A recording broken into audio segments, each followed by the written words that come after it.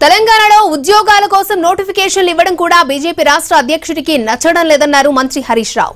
నోటిఫికేషన్లు ఇవ్వకపోతే ప్రశ్నించాల్సింది పోయి ఒకేసారి పదమూడు నోటిఫికేషన్లు ఎందుకు ఇచ్చారని ప్రశ్నించడం విడ్డూరంగా ఉందన్నారు.